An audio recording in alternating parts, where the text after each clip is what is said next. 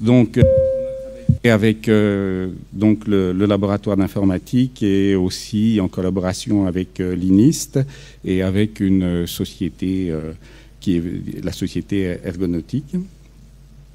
Donc, je, vais mettre plutôt ici.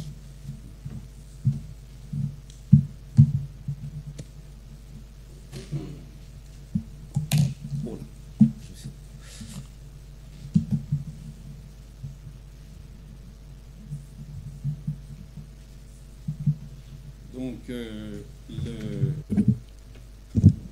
en introduction, euh, bon, ben, je vais rappeler ce qui a été dit rapidement, c'est-à-dire le but du jeu est donc de, fouiller différemment les textes et donc euh, de, permettre de, fouiller différemment par rapport aux méthodes classiques qui sont donc soit sur le titre, les auteurs, les mots-clés, soit sur le texte plein, qui est, qui est donc l'un est trop restreint, l'autre est trop large.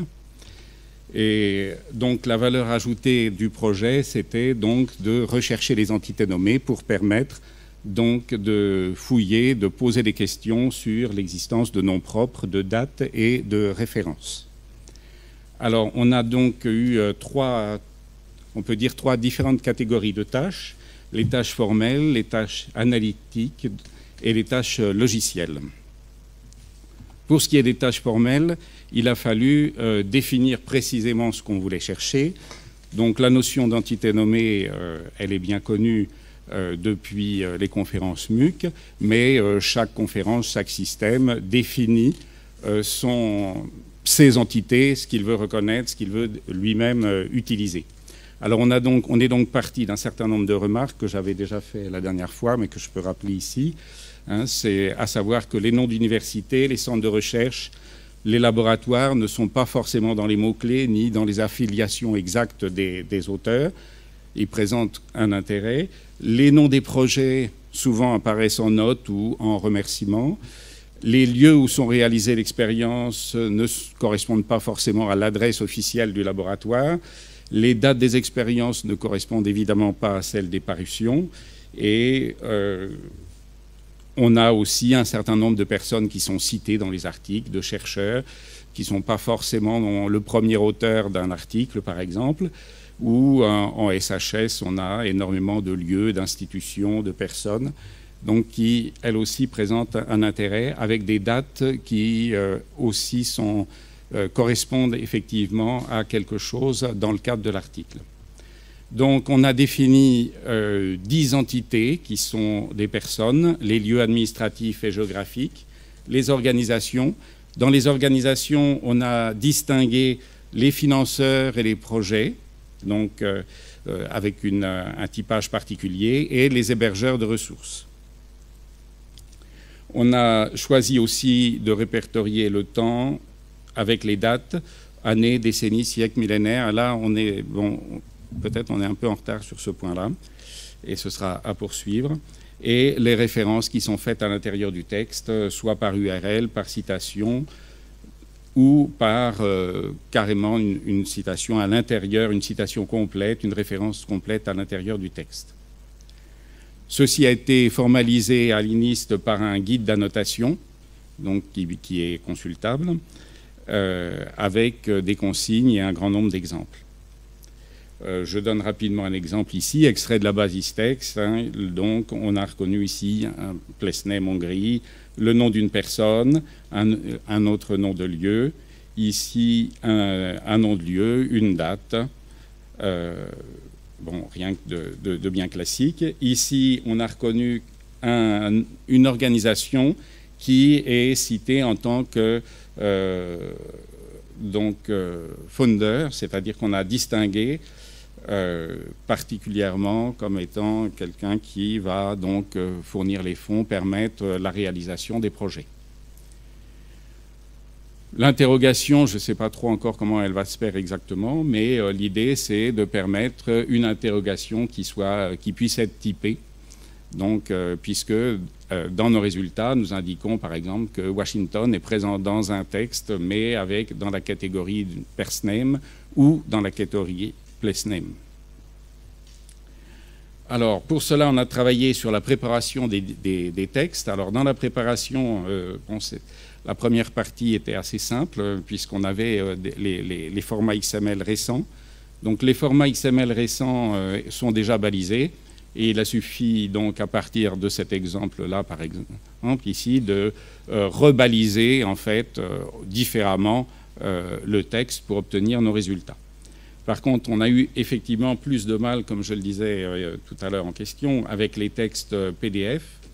Donc l'extraction est faite sous un format TEI, théorique, c'est-à-dire que pour l'instant, euh, le format TEI, enfin à l'intérieur du body, dans les, textes qu'on a utilisés, mais ça a certainement progressé. En fait, le problème, c'est qu'on travaille un peu en parallèle. Euh, on récupérait en fait dans le body quasiment euh, tout le texte lui-même avec euh, le résumé dans les différentes langues, etc. Alors si ça s'est amélioré depuis, ça, c'est vrai que ça va faire progresser les résultats.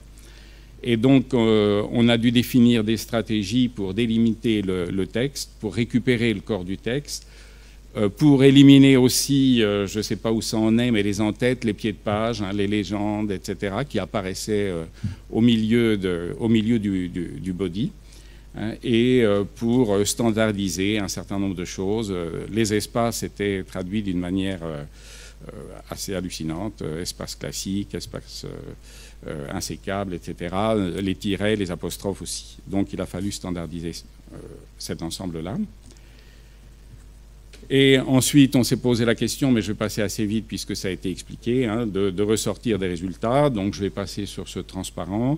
Euh, les résultats sont donc, euh, comme on l'a dit dans, l'exposé précédent, sous la forme donc d'un fichier standoff. Ici, par exemple, on indique que le mot Finlande a été reconnu comme un place name et est apparu deux fois dans, euh, dans l'article.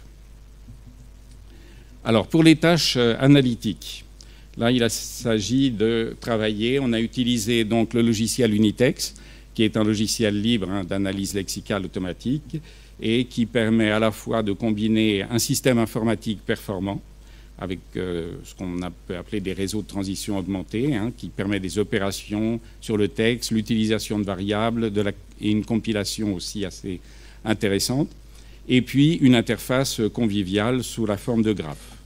Je vous donne là un exemple de graphe. Le graphe qui est ici peut permettre de reconnaître une expression comme à peu près à la fin du 19e siècle, hein, et dont on veut, qu'on veut reconnaître et qu'on veut euh, étiqueter. On veut étiqueter 19e siècle sous la forme de date. Le, principe d'utilisation d'Unitex a été fait sous la forme de cascade, c'est-à-dire qu'on euh, on utilise des graphes sur le texte original, ce qui modifie le, texte, puis d'autres graphes sur le deuxième texte modifié, et ainsi de suite jusqu'au texte final. Donc ceci permet d'une part euh, de permettre à un graphe d'utiliser des motifs déjà existants. Hein, je donne quelques exemples comme Centre Georges Pompidou, on va le reconnaître comme étant donc un, un place name, un lieu grâce déjà à une reconnaissance antérieure du nom propre Georges Pompidou. Et pareil pour la rue du 11 novembre 1918, qui va être reconnue comme une adresse euh, grâce à la reconnaissance de la date 11 novembre 1918 qui s'est fait avant le passage du graphe des adresses. Alors, vous me direz, on n'a pas d'adresse dans, euh, dans Listex, on ne cherche pas les adresses, mais justement, comme on ne les cherche pas, on cherche aussi à les éviter. Donc, si par hasard on avait ce genre d'adresse, il ne faudrait pas euh, étiqueter 1918 comme étant une date apparaissant dans le texte, mais il faudrait au contraire euh, l'omettre.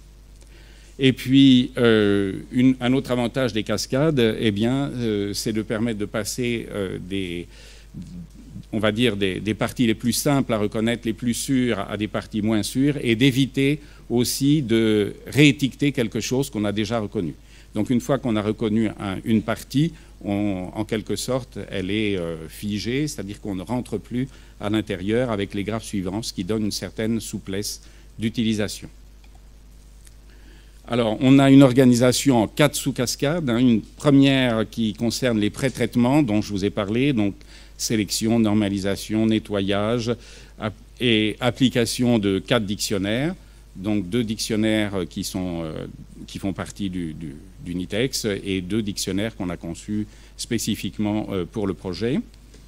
Ensuite, on a une partie d'analyse, qui est la partie de recherche des entités nommées au sens général du terme, en quelque sorte, et une partie synthèse dans laquelle, cette fois-ci, eh on fait en, quelque sorte le tri.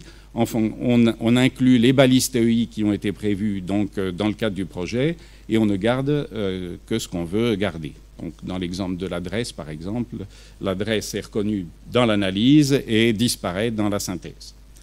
Et puis finalement, à partir donc de cette synthèse, on crée euh, le, fichier standoff.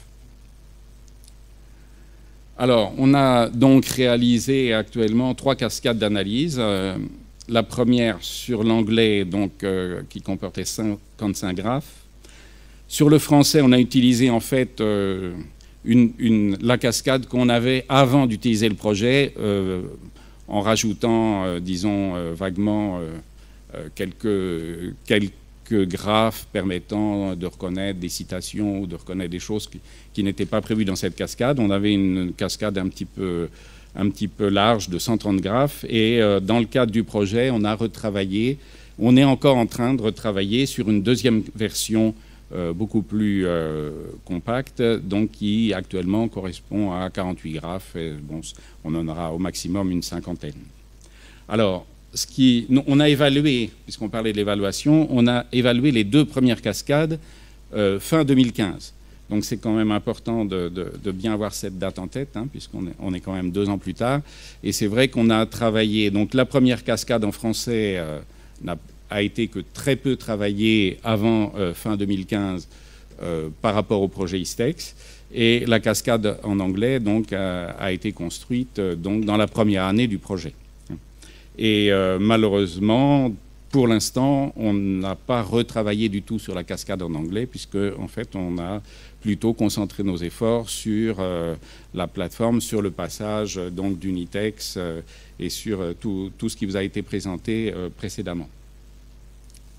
Donc on a fait des tests euh, sur 49 documents en anglais et 40 documents en français. Et on va sur la, cascade, la nouvelle cascade française qui, va bientôt être terminée. On refera des tests euh, à la fin du mois. Euh, bon, les résultats sont moyens, disons. donc c'est les résultats d'il y a deux ans. Hein on avait donc euh, une précision assez importante pour l'anglais, correct, de 91,5%. Un rappel, évidemment, puisque la, cascade avait été construite quand même relativement rapidement, assez important. Et euh, ici, des résultats, disons, euh, qu'on peut dire à peu près corrects, mais pas, pas terrible, terrible, il hein, faut dire, sur la cascade, donc quasiment sans, retouche par rapport au projet. Et le, SER, donc, euh, c'est le calcul qui avait été adopté dans le cadre de, la campagne euh, étape, hein, qui consiste euh, à. Alors, je peux, si vous voulez, je, peux vous montrer un. je vous montrerai tout à l'heure, je vous expliquerai. J'ai un transparent qui explique ça. Ensuite, donc, une fois qu'on a, on a fait cette 5 minutes Bon, alors je me dépêche. 5 minutes. Une fois qu'on a fait cette première partie, ces deux premières parties, donc euh, rapidement, au bout d'un an, on a travaillé sur le développement des tâches logicielles pour améliorer le programme Unitex et pour améliorer son passage sur, la cascade. Donc en particulier, on a développé euh, la normalisation et la dénormalisation des textes. On a créé des graphes de généralisation, généralisation d'étiquetage pour récupérer euh, des parties pour compter les documents. Hein, dans les documents, quand on repère une entité, à certains autres endroits, on la loupe parce qu'il n'y a plus de contexte autour qui permet de, la repérer. Et donc ce graphe-là nous, permettait d'annoter, à partir d'une annotation existante, d'annoter d'autres euh, entités euh, identiques présentes sans contexte. Euh, on a créé un système de débogage donc des cascades, un système de partage donc entre euh, les développements qui ont été faits chez nous et, euh, la plateforme ISTEX. Et on a travaillé aussi sur la création du fichier standoff. Pour le passage à, donc à l'échelle, on a optimisé donc le code d'Unitex avec l'écriture d'un seul fichier en sortie donc, euh, et non plus de, toute une série de fichiers, l'amélioration de la vitesse de traitement et donc le strict de lancement qui a été présenté tout à l'heure donc sur les différents cœurs de la plateforme Unitext. On a travaillé la robustesse du passage donc d'Unitext et des cascades d'Unitext. et grosso modo, on est arrivé à une erreur sur le premier million de textes qu'on a traité. On avait 0,17 secondes par document. On a considéré qu'on était arrivé, disons, à un point tout à fait optimum. Et donc, on a ajouté maintenant un, système qui permet de, si jamais on rencontrait un problème encore, euh, quelque part, de, euh, sauter en quelque sorte le graphe euh, en question et de continuer donc l'analyse avec les autres graphes. Donc au niveau de la robustesse, on est arrivé à un outil parfaitement robuste, j'espère, parfaitement robuste donc sur la plateforme. Alors, quelles sont les perspectives D'abord à court terme, dans les tâches euh, analytiques, eh bien, on a donc la cascade revue du français. Ça, ça va être terminé euh, d'ici la, fin du, projet. Hein. Euh, sur les tâches formelles, a priori, on n'a pas prévu de continuer à travailler dessus dans, à court terme. Et sur, on est en train de travailler sur l'ajout d'une fonctionnalité de priorité dans, dans, le choix des différents chemins qui sont proposés dans Unitext. Alors évidemment, euh, cet ajout euh, eh bien, euh, va nécessiter une reprise d'un certain nombre de, de graphes et va créer une amélioration à condition évidemment qu'on puisse repasser, etc. Donc on, est un peu dans une chaîne, hein, dans une chaîne sans fin. On est en train de travailler aussi à une consultation étendue du dictionnaire. Euh, bon, la réforme de l'orthographe, par exemple, hein, fait que le mot hôtel, qui est présent dans le dictionnaire avec un accent circonflexe, peut ne pas l'être dans le texte. Donc, travailler, on travaille là-dessus euh, aussi actuellement au niveau du développement. Et à long terme, je dirais que euh, sur les tâches formelles, et je vais m'arrêter là, hein, sur les tâches formelles, il faut qu'on affine la notion de date. Il faut qu'on revoie, parce que pour l'instant, on balise, mais euh, je pense que c'est difficile de dire qu'on peut baliser juste des années ou lorsqu'on a des périodes, lorsqu'on a des décennies, etc. Il faudrait arriver à quelque chose de, plus sérieux.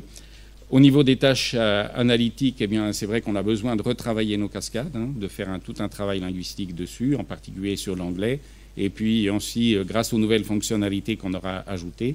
Et au niveau des tâches logicielles, il faudra travailler à une amélioration du pré-traitement sur le, une amélioration sur le choix des dictionnaires et sur euh, la généralisation de l'étiquetage. Voilà, j'ai terminé.